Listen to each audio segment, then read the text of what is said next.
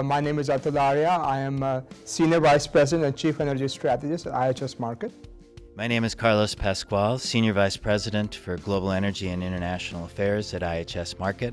And it's a pleasure for the two of us to have this opportunity to talk with you about issues related to climate change. Atul, the Paris Accord that was reached in 2015 was a landmark agreement. It brought in 195 nations, unanimous approval. And then this year, with the withdrawal of the United States, it's taken a setback. Does it still have momentum or has it been stopped? I think it still has a lot of momentum, Carlos. So, you know, the U.S. is clearly uh, having a, a rethinking where, where they want to go with the U.S. federal government.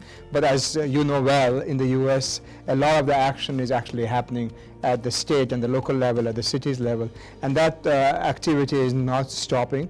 Uh, we are still seeing a very significant growth in the, in, for example, in the deployment renewables. Uh, there, are, there are policies being put in place by the state governments, uh, which they believe will uh, allow them to reach the goals of the Clean Power Plan, even though the clean Power Plan itself uh, is potentially at risk. Uh, so I, I see from, from, that perspective, just within the U.S., uh, I do not see a big big impact. But what about the international level? You know, you look at the world as a whole. Do you think that will have an impact internationally? So the fascinating thing, Atul, is that we're seeing new leaders emerge, and one of them is one of the countries that at one point was seen as one of the principal enemies of, of an international climate change agreement, which is China.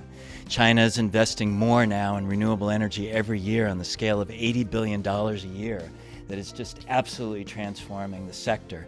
And as part of that, what we're beginning to see is that markets, global markets, are starting to drive further and further more investment in renewable energy that's maintaining part of the momentum so that it's not just a public policy issue, it's a question of how companies and countries respond to market opportunities. Which brings us to another point, which is that increasingly what we see is that there are very ambitious declarations that were set for the Paris Agreement, yet at the same time there are gaps in performance between the declared nationally determined contributions. What's it going to take to bring those together, the ambitions and the actual commitments countries are making? Yeah, yeah, so you're, you're right that when we look at the national NDCs, nationally determined contributions, if you add them all together, uh, they are not going to get us to the two degree uh, goal. You know, we are going to be below the two degree goal. Uh, but there is already a lot of momentum uh, on that trend. And I think the, the one area uh, which, you know, which is, I think, very early days in a way is technology. And we have seen that, you know, just if you look at, for example, solar uh, photovoltaic, what has happened in the last few years, six, seven years, the, the rapid drop in the cost of solar PV. Uh, I think we will see significant technology improvements like that. You know, there's a lot of discussion right now, as both of us know, in the matter of electric cars, EVs, and that could be a complete game changer, and that will have a very big impact on the climate targets. So I think technology is going to continue to advance. Whether it will come to rescue or not is, is a matter of time. But you know, the, some of the bigger players will have a very big impact. You mentioned China earlier, uh, and China taking the leadership, India, for example. So do you think these countries will stay on the path to well, one of the critical things is going to be how to take technology and translate it into investment. And so, one of the key things for countries right now is how to ask the question how do they generate and stimulate the most cost effective investments that allow them to achieve their targets for decarbonization? And there's an important political and policy issue here that's at stake. If we simply look at the technology choices on whether or not they generate carbon, we may not end up with the best solutions. What we have to think about is that the world will have an integrated energy mix. And if we ask, how do you achieve the best integrated energy mix to get you to the outcomes, then you have a much greater chance for success. And I think one of the critical questions that we're going to start to see in China, and in particular Southeast Asia, is, is, is key for this issue because they have some of the highest emissions growth in, in the world.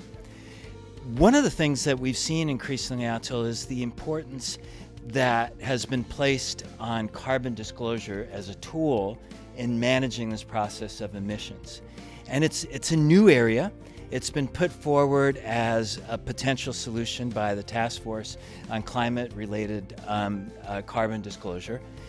Is that something? Is it ready to be utilized and deployed broadly internationally? Uh, I think it's, it's not quite ready, but it is getting there. So, uh, you know, we had this, as you said, TCFD, the Task Force for Climate Disclosure, set up by uh, by the by Mark Carney, who is the governor of Bank of England, uh, and uh, uh, Mayor Bloomberg, mayor of New York, led a task force, and they wrote a report with a number of recommendations. That those recommendations are now with, with individual countries, the members of the G20, to adopt them. Some countries will go forward, some potentially will not. But what is interesting to me, Carlos, is that the companies are actually, in a way, leapfrogging countries. And companies are saying that this is a good thing.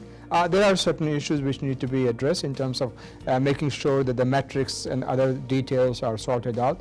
But we are on the path to that. And I think that disclosure, those disclosures, you know, the path is there. It will take a few years for us to get, get fully in compliance or fully following the, the recommendations of uh, the TCFD, but, but clearly, co and companies will take a uh, bigger lead than the countries so the, will. the pressures for transparency um, have been positive externally from companies, but within companies, they're increasingly adopting that. The question is how to do it in a way that's responsible. Uh, one final word, Atul. In your entire career, one of the things that you've consistently done is managed innovation. If you were to think about where are some of the key issues for innovation today, what would you say they would be? Well, it's, you know, the, uh, some of the interesting things which are happening, I would say. One is just on the matter of renewables energy. We talked about solar earlier, solar PV. There is still a lot more innovation to happen in, the, in just in the matter of solar.